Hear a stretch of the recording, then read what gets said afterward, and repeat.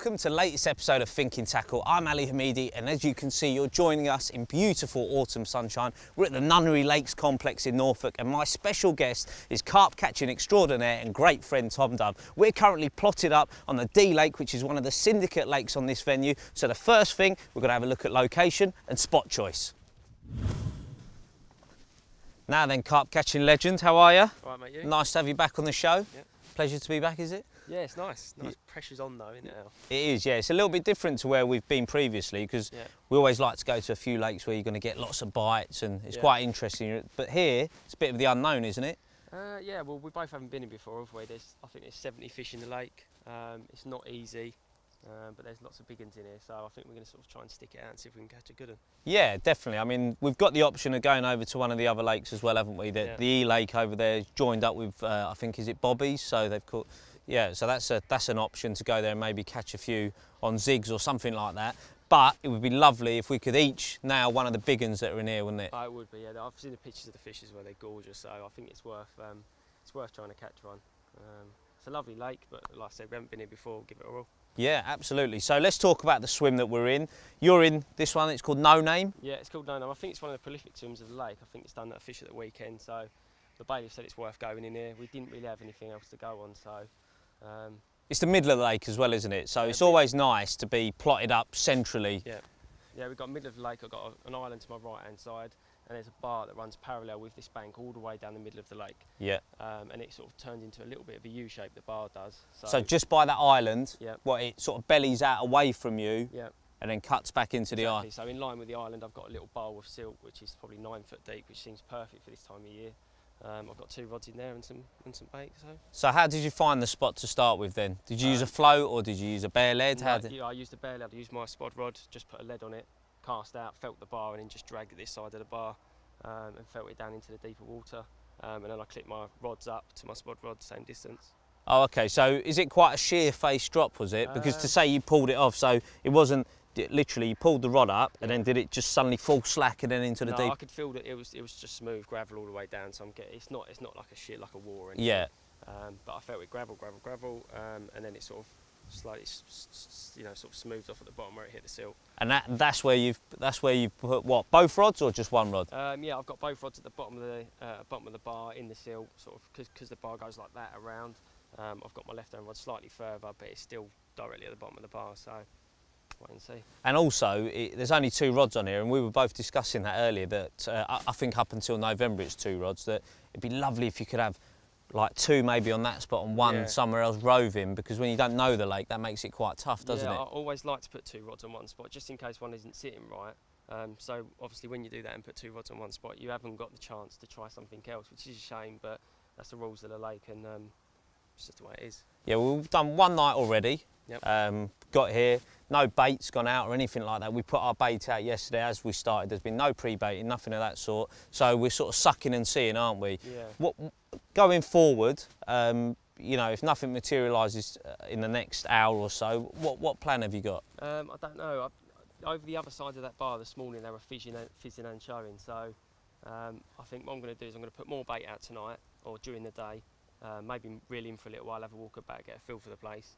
Um, put my rods back out on the spot tonight, and if they're over there again tomorrow morning, early doors, then I'll reel in and go and flick singles at them or something. See if I can get, a, see if I can nick a bite. But Reckon I'll be hanging on your coattails, mate. do it. Yeah, Do it. brilliant. Well, there you go. This is Tom's swim. We're going to have a look at my spots and my swim location now. Well, this is the point swim. Every lake has one.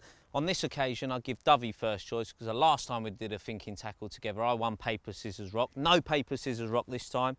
He's got in there. I'm in this swim called the point. And basically, as you can see out there, it's a lot of open water. But as Tom described, there's actually a bar that runs along this central belly of water. It sort of bellies out there, cuts back, and then goes into that narrow part of the lake. And what I've actually done is the first thing was put the float out, I found the top of this gravel bar, which was about four foot deep. I've then gingerly pulled the float back, pulled it down until I could feel it tap, tap, tap along the gravel that you get with that braided marker rod, pulling it back down until it hit that smoother, firmer silt as I pulled it there. I've popped the float up and it was 11 foot deep. So what I did there was with the float on the surface, put the line under the clip and then cast it back out. So on this occasion with 11 foot, it's gone 11 foot further out. At that point, I've then let more line off, and it was seven foot deep on that spot. So I pulled it back a little bit and then popped it up again, and it was nine foot deep. So if you can imagine, you've got a bar there, so five foot, it comes down to seven, nine, and 11 in that firmer silt. So my rig is somewhere up there. So just on that seam of gravel. And when I've fished gravel pits and lakes with a change in topography on the bottom, it's always been really, really good to fish on that seam. You know, you can imagine fish coming along that bar, just on that shelf. My rig's in position there there's a chance of ambushing them.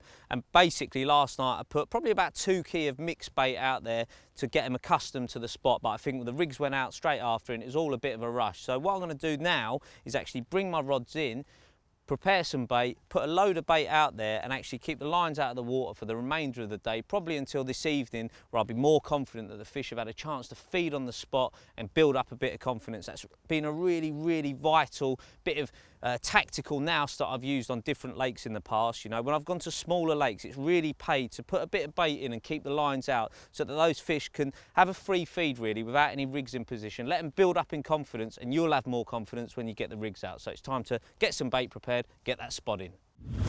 Right, so I'm just going to chop my uh, boilies in half, a few of them, to add into this mix that uh, I'd prepared earlier. We'll have a look at that shortly. I'm just putting a, the last few in here. So I've got some half baits to go with the whole ones that are in this mix, just to give the fish different options and different sizes so they don't become accustomed to any particular size out there. Um, that's one of the things I always favour when I'm fishing for tricky carp, to have lots of different sizes out there. So let's uh, get in there and mix this up a bit. Right, you can have a good look inside this bucket. I'm going to bring out a big old handful. Right, as you can see here, we have got the old sacred golden grain, a load of sweet corn. Um, some of the underwater filming that we've done in recent months proved just how awesome this bait is um, and how little I've been using it over the last few years. So it's definitely become a staple part of every bait concoction that I put out there. I'm a big believer again off the back of this underwater filming of this buffet theory that I've you know started to call it. Basically giving the fish lots of options to get interested in rather than just say using just sweet corn or just boilies why not put in a mixture? So if there's not a lot of nuisance fish in the lake and you're fishing a carp only water if you like, similar to D Lake on Nunnery, I've got some 14 mil um, cell and hybrid boilies in there. Also, a lot of halves in there, some crumb in there as well that I've put through the mill, through the crusher. I've got some response pellet in there, some ellipse pellet in there, so real oily flavours. What why I put them in, two reasons. One is to stodge the spod mix up a little bit for when I put it out in the Sky Raider.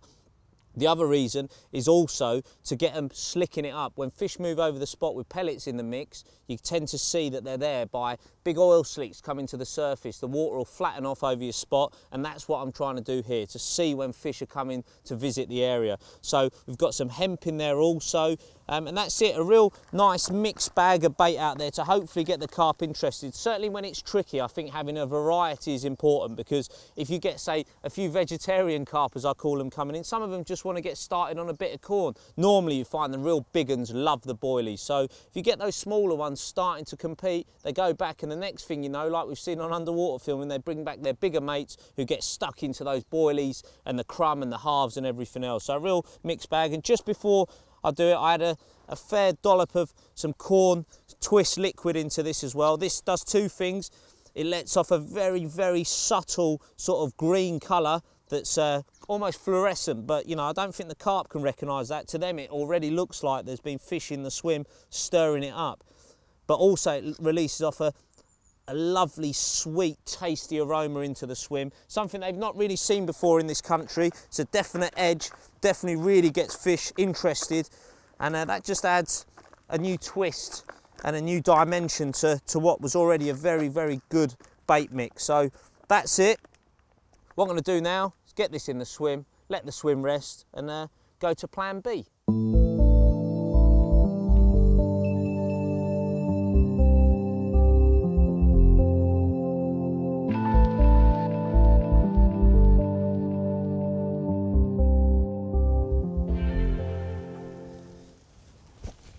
Well, we mentioned plan B and here it is.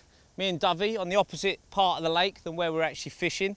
Tom, we've been seeing them show here all morning, haven't we? Yeah, to be honest, as soon as I've got around here, it looks better, doesn't it? The wind's pushing in here. They've been showing for probably three hours now, haven't they? It would have been ideal to come around earlier on, but obviously we couldn't. But put some bait out on the other side, come around, flick some singles up and give it a go. Exactly. We're going to let those spots breathe, like we said. So why, while we're letting those spots breathe, we might as well come over and see if we can uh, catch an opportune monster or two, maybe. Let's hope.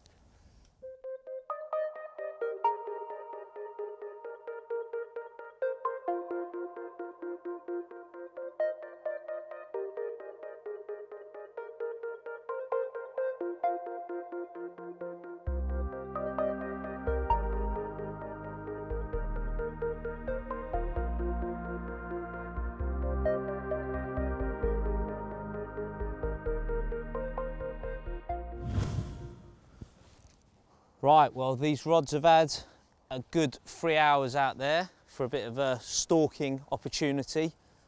But uh, ironically, since we cast the rigs out, we haven't seen a single fish show in the area like they have been. So, giving it a good go. I'm going to get back to the swim. I've seen a little bit of slicking up on the spot. You know, just as I said, I put the pellets in to maybe give me some sort of visual evidence that there's fish in the swim. There seems to have been some evidence of that, so I'm going to get back over there, get some fresh rigs tied, get the rods out for the evening. Right, I think it's the end of time round here. We've been here for about three hours now. Um, the fish stopped showing as soon as we put the rigs out, really. So we've given it a good go. Um, I'm going to go back round to my swim, flick them back out on the spots we had put them bait out earlier on, and settle in for the night. So see how it goes.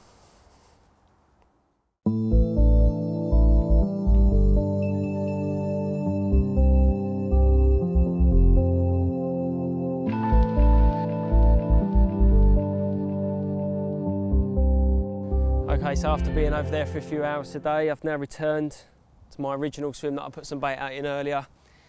It's starting to look a little bit better around here, to be honest. It wasn't looking great last night, but um, I put some bait out this morning, well, last night and today when I left.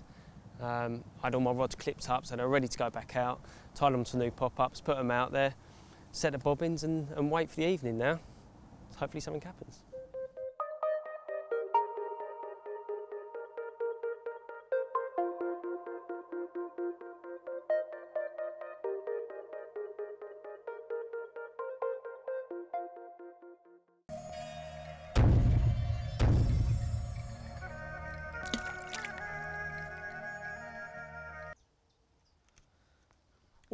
Go on, son. This is what we've had to resort to. Have a look at this. Good morning. And uh, to occupy our fishless time here at the moment, we've had to resort to catching these little perfections in miniature. A successful spawning, and this mirror carp will hopefully, well, this one's not going in the keep net, it's going back in there, will hopefully grow on one day to become a monster one of the monsters that this lake holds. Um, it's been a real tale of woe up till now, you know, no action. Um, Tom and I have uh, really fished hard, you know, we've persevered on the spots. We haven't actually seen a fish this side of that infamous gravel bar that's out there. Um, and Tom this morning has moved over to that far side just with a couple of rods again, similar to what we did yesterday. Um, there's been bits of activity over there, a few fish showing. So to make the most of his time, he's shot over there to just maybe have a couple of hours at them. We've got about another hour and a half to go here because people have said this swim, particularly the point, can produce up to around 11 o'clock.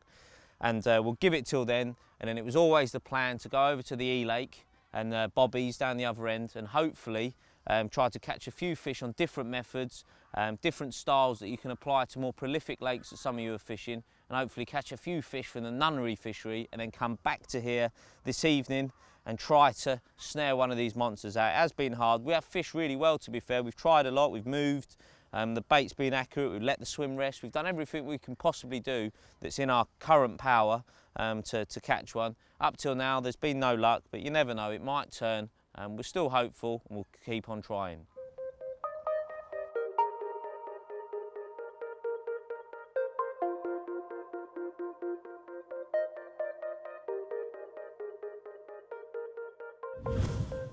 Well, it has been Hashtag epic. Epic fail. epic fail. Exactly. It has been a, a, a quite dramatic morning um, with no carp. We uh, moved round to Bobby's, um, which is a part of the E Lake now as the two are joined together. Um, shot up here, Tom, didn't we? Yeah. Got the zigs all clipped up, spotted some uh, munger out there, bit of cloud and everything else. Um, there was a few fish showing, but it was pretty clear very early on that the, the movement of fish was very slow, Tom. Yeah, they was too slow and they didn't really seem interested in food at all. Was putting spod out, they was ignoring it. Um, it just sort of seems like scratching time now, doesn't it? That, um, any, anything you do with any amount of bait isn't particularly going to work. We're going to have to try and nick a bite somewhere. Well, this was always supposed to be our banker move, coming onto here in the days, having a bit of fun, catching a few fish. But one thing I noticed very early on coming onto here was the amount of blue-green algae that seems to have popped up. And what that tends to do is sap a lot of the natural oxygen that's in the lake, um, and that's noticeable in the way the fish are behaving. From some of the lakes I've fished in the past, I remember some very prolific lakes coming to a total standstill when that type of algae popped up. So, Tom, do you think that's been a, a factor? Uh, well, it certainly looks like it, doesn't it? I can't see any other reason why they'd be acting so slow and disinterested. I mean, it's September, they need some food. Um, it just seems like it's got in the way a little bit, but uh, at least we tried, mate. It's, it's during the day and it we've come down here, give it a good go. And that's the type of thing you should do when you're scratching anyway, to try a different method, maybe a different lake. It hasn't worked, but you've lost nothing. No, absolutely. We've um, we've had a plan. We've come down, spoke to some of the other anglers on this lake as well. Um, been looking around trying to find them elsewhere. Tom's even gone down a swim and chucked a bottom bait at what looked like some fizzing carp. Nothing. The other anglers are catching nothing. So I think even after this was supposed to be a banker, we're going to return back to the D Lake Yep. and just put all of our efforts into trying to catch one of those big uns. Everything we've got in our locker now. Yeah, definitely. Put it into I mean, we, the, the two swims opposite us, we've seen fish both mornings, haven't we? So we're going to move around there. Um, the swims that we've both moved around in the mornings, the last two anyway, um, move around there and see if we can catch one out of there. Absolutely. So currently, hashtag downer. Going forward, hashtag up for it.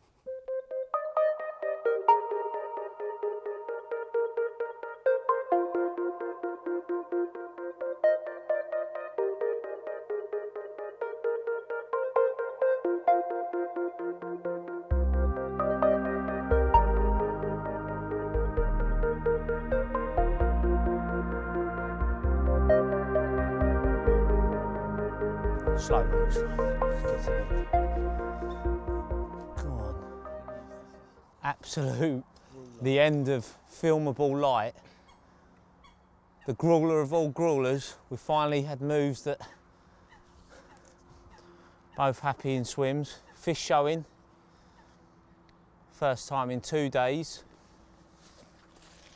And uh, the man I call a walking carp, Tom Dove, in a swim that suits him down to a a T. Not the biggest one in the world, but he'll do. Go on, lad. Right. Do you want me to salmon swoop? go on, go on. Yes! Get in, lads. Get in. What? Get in, my son. Look at that. Oh, That'll do, won't it? that will do, mate. It's been done, I'm happy. Come on. Well, Dovey. what can you say?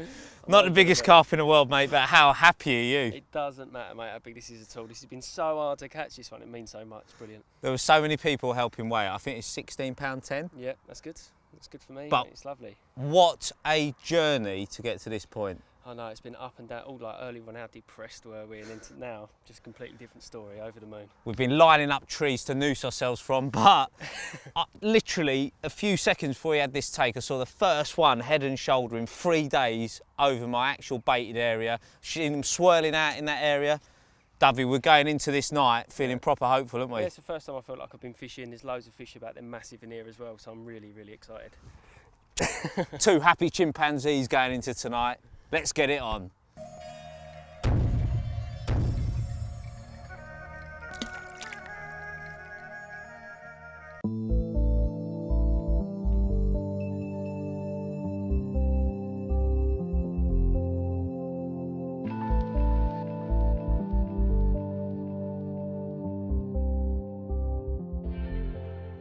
Well, good morning. Um, I'm pretty battle weary now after a couple of hard days down here. Really has been hard, but yesterday evening was the first time um, that I felt I was actually on fish. Uh, I had one nose out over my bait, um, quite a few swirls which suggested the fish were really high up in the water. I had the zig out there for a little while, and then just as that mist and that cold weather sort of set in, killed it stone dead. Didn't see another fish after that. Um, but my old mate Dovey, that left-hand rod that we both fancied in that swim, um, casting down to that out of bounds area has uh, has done him another bite first thing this morning. So um, I'm going to send you around there so we can go and have a look at that beautiful carp that's uh, languishing in the landing net right now. But for me, I've got a real feeling that it's going to be my first ever blank on thinking tackle. But you never know. I'm going to keep on fighting, keep on believing, and something might turn. But Dovey's produced the goods once again. Well, they are getting bigger. Dovey, how big? 25 4. Right. 25 4. And uh, this roared off at about 7 a.m. just before the cameras turned up. Yeah, just after light. Yeah, seven o'clock left hand rod down the down that little channel in the shallow water. Job done. Yeah, because you'd cast it j- right under that tree, hadn't you? And you were like, you were getting a bit, I suppose, uh, you know, disheartened. It hadn't gone all night. Yeah, but I, I don't think that was there all night. I think this morning when the sun's come up a little bit, they've taken a mooch back in there, and uh, this one's taken a bait. Right, I know your arms are not that big, so we'll just Yeah. keep on chatting. You did mention it is shallow under there, isn't there? Yeah. Now, when we reflect on the fish that have been caught while we've been here, Yeah, the captures have been out of shallow water, haven't they? yeah, five foot or less really. I think it's probably the higher pressure. Maybe we should fish zigs all the way through, um, but it's only something you learn, isn't it, by by being here. So um, I'm gonna move my rod to shallow water if I can find it, um, and hopefully this one will go again. Yeah, yeah. Well, you've got it back out there on the money, haven't you? Yeah. Um, we'll have a look at just the amount of bait you've been using and um, and obviously the rig that you've had this little baby on. Yeah. So that's probably what we're going to do next, and hopefully our hopes are going to carry on lying on this young man and that left-hand rod. Well, a chance now to talk to Mr. Tom Dove about the rig he's using because here is the naked chod and here is the man who pretty much invented it, didn't you, Dovey? Well, I think there's oh, oh, duck. Little I think, I think there was lots of people that done a similar sort of thing, but as it is now, yeah, like that. Take so. take some credit, my son, because you you from talking to you back in the day when you were fishing the Essex Manor and stuff. Yeah. Um, you had devised this. Obviously, the chod was no sort of uh, new method, but it was with lead core and it was on a heavy weighted setup. This was to be fished critically balanced Yeah. and beautifully, wasn't it? Yeah. So so. Talk us through how you like it to behave first. How do you like it to, to sit on the bottom? How do you like it to sink? Right, okay. Obviously, because there's no lead core in it and you've just got the line, you're using the putty that you're putting on the swivel to sink the bait, um, which means you can critically balance it basically. So it will sink very, very slowly So, show, to the bottom. so hold that bait up and sh- give me an idea of how slowly you like it to sink in. Um, sort of like that. Yeah. So almost as if you've cut like a quarter of a boilie. Yeah, it's And just just- sinking slowly on top. Yeah. Because obviously you're, you're fishing this on top of any any rubbish that's on the bottom, so you want it to sit on top nicely. So you don't want it to sink really, really fast or anything. Yeah, burying down. No. Is there a time when you might use it sort of pinned and nailed to the bottom? Um, I'll use it with lead core and when it, and pinned to the bottom when I'm fishing a long distance because I don't. With this, you can get bow in the line and it might, you know, pull tight in between weed beds and it can easily pull it off the bottom. Um, but when I'm fishing relatively close range and I can see what's happening, then I'd always always um, choose to fish this one. Now, in this particular situation, to be fair, that, that where you're casting isn't actually that choddy, is it? It's sandy and No, it's, it's, it's sandy. There's a bit of weed on the sand as well, and it drops off a little bit into a bit of weed. And I'm not 100% sure where it's landing, so um, it's a big fish rig as well. So uh, you know, a two-inch pop-up. So hopefully we can get get one of them on that. Yeah, beautiful. Okay, well, let's talk about how you tie it up now because um, you've got a couple of new components on here, haven't Yeah. you? So I presume um, the first thing you do before you actually tie the rig is um, slide this onto here. Yeah, I slide the, the tapered section on first. It's tungsten. Um, it just slides up nice and tight on the line. And that bead goes over that after you've tied the rig. So That's like a no trace system, isn't it? So most other beads in the past have been solid, haven't they, all the way around? yeah, But this one has got a cut in it, so in the event that you get a crack off or or a fish cuts your line, yeah, that bead pops off. just pops off there and can fall off the line and that choddy can just slide over it with ease. So the fish isn't tethered, isn't carrying a rig. Um, that's really, really important. And do you wet that bead, Tom? Yeah, I make sure I wet it before I put it out. Obviously, it's in water anyway, but if, if you put a bit of saliva on it before you cast it out, you know it's definitely going to come off um, if the fish t- you know has to pull that side of, of the lead. Okay, brilliant. So that's done. Um, let's talk about how you tie the choddy up because that's a really short one, isn't it? And they do take a little bit of finesse and practice to get Yeah. right, don't they? Yeah, it's quite intricate, but once you start tying them, you, you get used to it. It's quite easy. Um, basically, it's a knotless knot, so you're you're sliding the um, the Mouth trap. mouth trap through the back of the eye, whipping up five or six times. Um, and where you'd normally have your hair coming out at the end, that's the part that forms your D. So you put your ring on what, would normally be the hair, um, and then you push it back through the back of the eye, cut it nice and short, and then blob it with a lighter, um, and that forms your D like that. So do you leave it before you blob? Do you, I presume you leave sort of four or five mils so you don't end up burning the filament. Yeah, Yeah. I'll, I'll cover it with my fingers. Oh, so, dear. so make sure I don't burn it. Yeah. Okay, watch Um, yourselves at home, kids. Yeah. um, and then I'll cut the, the rest of the filament nice and short and then just tie a two-turn blood knot onto the swivel so you can get it nice and small. And because it's so stiff with a two-turn blood knot, it doesn't slip at all, it's nice and safe. Yeah, it's like sea fishing lines, you know. If you ever go sea fishing on a boat, you'll see some of them, you know, big game anglers, they'll use a one turn blood knot and a massive hook to fish for sharks or marlin because it's so stiff, they just pull it down solid and it just locks in position. So um, don't be alarmed, it is it is stiff material and it will hold. It definitely holds, yeah. okay, so that's on the, that's on a size 11 Size 11 ring swivel and then Yep. a little bit of dark matter putty around the swivel to sink it. and you just measure that the amount of putty is based all around how quickly or how slowly you want that to sink. Yeah, I mean I do it now because I'm, cause I'm cutting these baits down a little bit. Yep. Um, I'm putting the same amount of putty on every time, going into the edge, cutting a little bit more off the pop up until it sinks nice and slow. And then this is an interesting little bead. Most beads in the past have been rounded. This one has uh, has got flat, sort of almost flat sides, hasn't it? Is it so that everything sits a bit more streamlined during the cast? Yeah, it's just a it's just a barrel shape. It's to make sure that people know what it's for, and it sits nicely on the side. It doesn't kick your swivel out. If your swivel kicks out like that when you cast, your knot can slide on your swivel, and Yeah. you end up with sort of a kink chod. So Okay. um, as long as it sits nice and flat, flush with the line, um, you get you get a perfect shot. A very very small detail, but I bet it does add a percent to yeah, the it makes, everything makes a difference, doesn't it? Right, and then just moving down to the lead end, I'll just peel this silicon back. You've got what looks like a quick link there. Yeah, I've cut the swivel off my lead um, and just put a quick link on the bottom there. It's so basically so I can take it off at the end of the session, so I don't have the leads banging around. And if I want to change the lead size um, to cast a little bit further, I can do so. Okay, and and any reason why you'd have silicon as opposed to say like a heli sleeve or something like that? Uh, no, just they're, they're made for the job to cover them quick links, so it fits over it nicely, doesn't slide off, um, and just uh, adds a little bit of cover.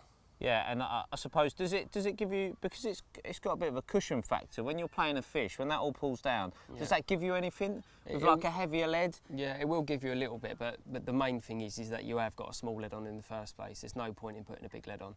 Um, put a little tiny lead on, you've got a little bit of cushion there as well, and you don't ever have any trouble then. And you, touched on the tension in your line earlier. You said there's a chance that uh, with, with a naked chod, you know, when you're talking about lead core or naked, um, line tension. How tight should you have your line when you're fishing a naked chod? Very slack, very very slack. I always make sure that as soon as I, as soon as the lead hits the bottom, I slacken off a lot in in them, that first ten so seconds. it all just falls down. yeah, nice. so that can fall down. Even if you check it in the edge and you've got a bit of a tight line, and then you let it go, um, the the line can get caught on weed that's in between the lead and your rod tip, um, and it doesn't sink properly. It won't sink properly in between weed beds or whatever. So um, make sure you, it's, you slacken off straight away. The pop up will then sink onto the bottom, and then don't tighten up after that. Just slowly put it onto your rest, fish a nice Yeah. slack line, and perfect. Yeah, if you if you tighten up with a rig like that, you're going to end up pretty much like that with a chimpanzee type Yeah, effect. It's, it's, sitting two or three inches off the bottom the line is, and that's not what you want. Yeah, exactly. And then it, it, it looks totally unnatural, and that's a, a, a surefire way to a blank, I'd say. Um, and then finally, you d- again, you did touch on that bait's cut down. Um, it's pink. You've cut the edges off. Yeah. Um, I've seen you doing a bit of trickery, mate, with that. Yeah. Um, I know you've got a, a special bottle of liquid that uh, has served us all very well. We've seen it on the indeed, underwater yeah. film. Um, Stuff. yeah, so that's a bit of like almond liquid. Yeah, well, uh, th- this was originally a yellow pop-up to begin with, and because I've put so much on the outside of it for, for the attraction, Yeah. um, it's gone pink. And then when I cut the sides off, obviously it shows the yellow on the inside, um, and, and the rough edges are sort of a perfect place to put this because it sort of grips onto the edge of it. So I'm cutting the edges off, putting a little bit more of this on the outside, um, Go on then, like this. show us how much you're putting on. like that. Just a little bit like this and then rubbing it in like that. And, and I've found with this, if you if you want it to last longer, obviously Tom's been hydrating these hook baits, so he's he's added them and kept applying a, a thinner version and then a thicker version on the outside. The thinner one cuts into the bait, the thicker one sits on the outside. And if you leave them in dry heat, you'll get this sort of that liquid basically just attaching itself and holding almost like a bonbon on the outside. So you get much slower leakage rate, don't you? Yeah. When that goes out wet like this, it sort of comes off quite quick, doesn't Mm-hmm. it? It gives that taste, that colour, that aroma, like a little halo around your hook bait. Totally unique, something um, that's been never really seen in this country, has it? Mm, not until now. Yeah, yeah, not until now. Um, and you've had really quick bites, haven't you? Yeah, one, one went literally as I put it on the rest yesterday, so that's obviously working for me, putting it on the outside. Um, and then I had a bite as well that I'd put out last night and, and had a bite this morning, so obviously the stuff that I put on there um, previously worked as well. So it's had longevity and short-term effects. Yeah. Well, there you go, an absolute masterclass by the Naked Chod Master. Well, well, well, who would have thought it? About five minutes ago, me and my mate Steve, who's been the greatest help on this shoot, we'd noticed a few fish fizzing in here and it was the last resort. He had some maggots on him, so we got a few maggots, put it on a little gooed up pink pop-up on the exact same rig that I've been using out there. And this fish is in that ball of weed somewhere, I hope. And it roared off. No, I think it's there, mate. It's gone. Oh no. That's a heartbreaker. Ah, Get it back out there. No, it's no buts. it's just come off in the weed, and obviously we can't. I thought his head was in the weed as we've pulled it out, and that's just come off. After three days of working my socks off and having a gamble there, just chucking that one rod, I wound it in, went over there, put it on them fizzing fish, little bag of maggots, and uh, it's roared off literally in a few minutes. We just went, and I just can't believe that's come off. I really can't. That rig that I've been using absolutely nails them. And uh, the saving grace was it probably wasn't a big one because I saw it on the surface, but absolutely devastated. I really thought that was going to be a nice fitting end to a really, really hard session. Gutted, absolutely gutted.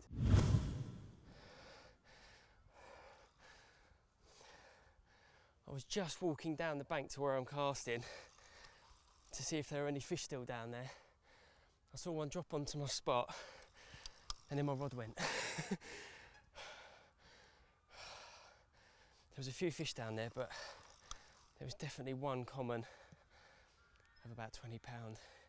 And it'd be really funny if it was that. I'm here, Dovey. Hello, mate. Um, I'm just going to move this net the other side here. I was down there watching them. Yeah. That's amazing, isn't it? When you get. There was there was a little there was a common about 20 pound and a couple of other ones. Any 40 And this, no, no 40 pounders, no. This isn't the one I thought it was, but he's nice though, and he look at him. He's a nice fish. So that, that was on a that was on a changer tactic, wasn't it? Yeah, because I, I wanted to fish the chod first of all, which th- they've worked really well. So I had them two carp and a massive bream of 17 pound. Um, but I was going to try and get it tighter underneath the tree, and it's really sort of sandy under there. So I wanted one on the bottom. Um, and it's probably only been out there about an hour. Oh, I'll tell you what. So exciting though when you can see them in it. Oh, It's don't. just- There's nothing better. oh mate, it's just. That's what yeah, fishing should be like all the time. You just Yeah. don't get the chance to do it. Fantastic. Stop swims now, yeah. Yeah, go on, mate. no, I'm joking, mate. No, it's always, always nice. We we knew that was our little banker area, wasn't it? That was if that didn't produce, well, I think we'd both be hanging from trees. And you fished Not it really just well. you. What? Not just you. That's um. I think there's a chance of another one, isn't there, after this? Yeah, I think so. A good few hours left today. Walked down on the end of that island and there, sort of swimming around the back of the island and then coming back round to my spot. Look at that in that clear water. It's a nice fish, that. That's Pretty. beautiful. That'll please old Tinker. Some of his nice carp getting caught on camera. What so many nice ones in here. It'd be lovely to get stuck into one of the real big ones. Yeah, I'd love to come and fish here actually, probably do a bit of my own fishing. Yeah. It's a wicked lake. We wouldn't have said this yesterday though, would we? No, I think just like you say, mate, that they, that weeds obviously died off, and a lot of it's floating around, isn't it? Yeah. you know, I've just seen. I was literally about to tie another zig because the, I've just seen a few swirling me swimming, which is just typical that they're obviously particles of food and that up in the water, and anything that's getting caught is is shallow. But we've got two of your rigs to uh, to inspect now. Yeah. Well, this is the one that come from the underwater, so Yeah. All right, mate. So we're, yeah, you le- learnt something and put it into practice. There's another fighter jet leaving the RAF base. Slightly harder job than me and you have got. I don't know.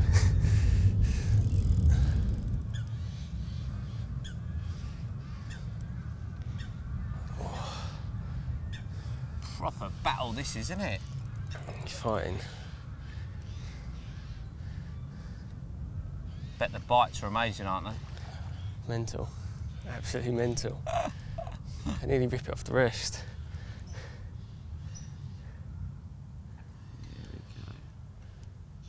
He's a bit bigger, isn't he? He's got, got like, fatty. Yeah, he is. Definitely been on the pies, that one. On the cell-flavoured pies.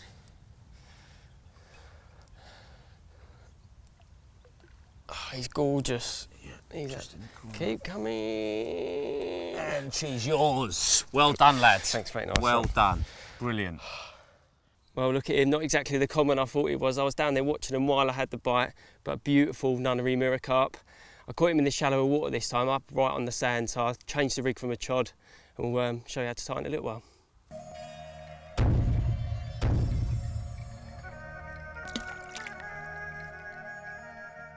It takes a brave man to catch a couple of fish and then change rigs totally. Tom, firstly, you've left the chod and now you've gone onto a bottom bait or a Yeah. critically balanced bottom bait. Any reason for that? Um, just because I thought I was going even closer to the island than I thought was first of all.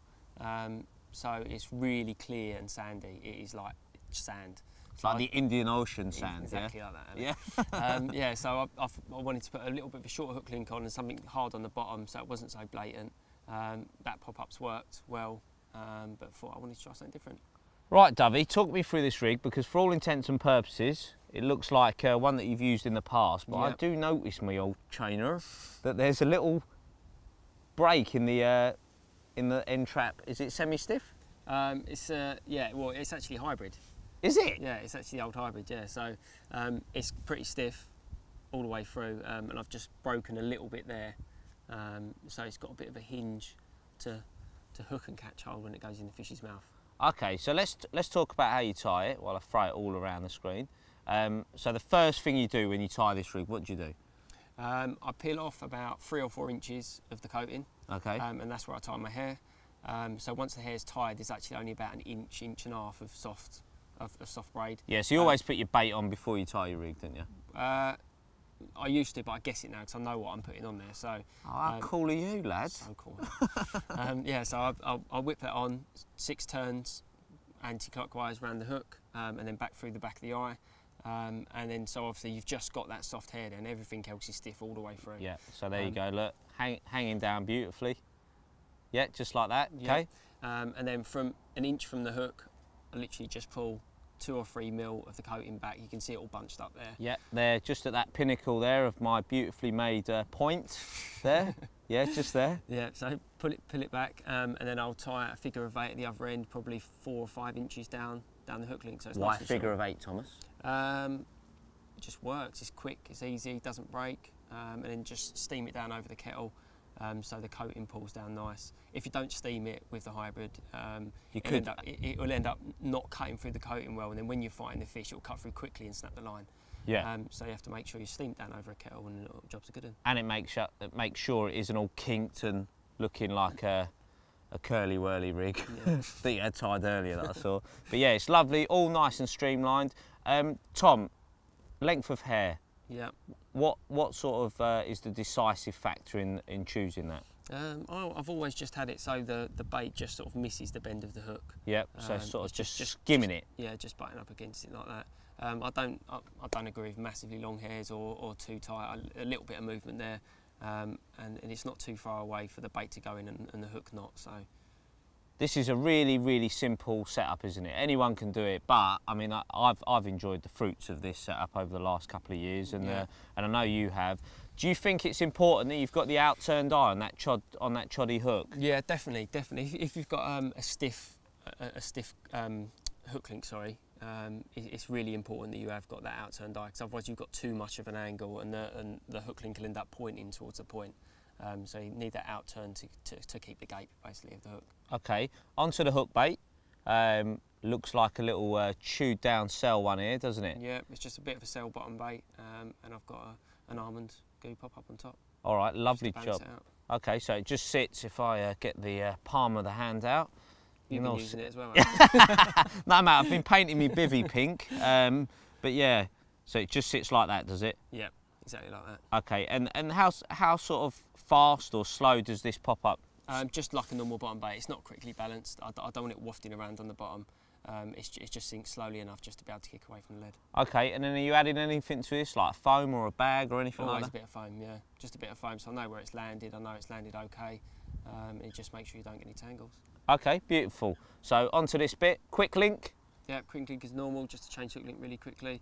Um, and I've always used that, and I don't get tangles because you've got that bit, a bit of movement around the swivel. Yeah, little hinge there, kicks everything away. Yeah. And you really do favour stiffer materials, don't you, Tom? Yeah, semi-stiff or stiff I always use all the time now, um, just because you know it's kicking away from the lead. If you get ejected, look like we know we do 100%, um, you know you're gonna, your, your hook link's going to reset itself and you, you've got a chance of another bite.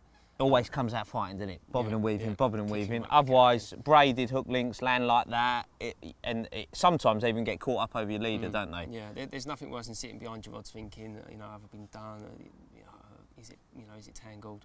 Um, by using that, you know that it's sitting sweet all the time. Beautiful. And then onto the lead system. Obviously now you've got the insurance of a hybrid lead clip, so the Yeah. lead's going to come off on the fight. Yeah, lead definitely comes off every single time on the hybrid lead clips. Um, I've used them an awful lot, um, and I've just got about a foot and a half of lead core behind there, just 'cause I know some snags down there. Um, Yep. It's just a bit of insurance. Beautiful. Well, there you go. A little change, a little tinker, and the old boy's going to caught another one. Well, Tom, before we head off home to our wonderful lives, a chance to reflect on the uh, quite epic last few days. Um, not that many fish. No, Worked really hard, haven't we? yeah, we've moved about all over the place, and we even over to the other lake to try and get a bite. But it's it's been hard going, but come right in the end. So Yeah, absolutely. Now, we were just having a chat off camera about the open water areas, you know. Yeah. Uh, I managed to finally get a bite, but you said something quite uh, poignant when you said that um, we just ain't on the right spots. Yeah, they've been here all the time, haven't they? Even like well, when I walked around, I had a hunch about this side, and we went over that side because they said the swims are good. Um, that's not an excuse, by the way. But um, so if, when when we was looking over from here, they started showing over here, fizzing. Come around here both mornings, didn't we? Because we knew that was over here. Um, they were fizzing, but we didn't get bites. It's just we, we weren't right on them. That was it. Yeah, well, that, that first cast I had that had a take really, really quickly Yeah, was um, took took a few minutes, didn't it? And I said to you, the drop was different. yeah, By that, you know, when I felt the lead down, it was a silk drop, but it was slightly firmer. Then when I recast the rod, um, it landed quite a bit softer, I'd say. You know, I went to you, it went, the first one went, uh, the second one went, uh, like that. It was quite distinctly different. We have weird sounds to describe what the bottom feels like. Um, and a little while ago, I just stood in the swim, just having a look out to the left where I'd had the take, and uh, one just bobbed its head out, almost to uh, give me two fingers on the way home. Um, coming back, do you think it's a it's a case of just not knowing enough about the venue, not being able to sort of predict what's going on in the swim quick enough? yeah. I don't, I, it's not an easy lake, is it? And I think these places, you, you'd never come down on your recce trip the first time down and expect to catch carp, would you? with cameras. with yeah. cameras, yeah, especially. So I think we've done well. I think next time I come down, I think I'd spend more time looking, more time making my own decision on what I want to do, um, and making sure I'm in the right spot before I start fishing. You know, not rushing anything. Yeah, absolutely. It's lucky that that sort of left-hand side, that shallow water which held fish, Mm. was there as an option because you know you fished it well. You have free takes, which I think if someone had offered you free fish before the trip, you would have taken it, wouldn't you? Yeah, definitely, definitely. But um, it, like like you say, it's one spot that was obviously going to do bites. It was shallow water. They were in it. They were feeding.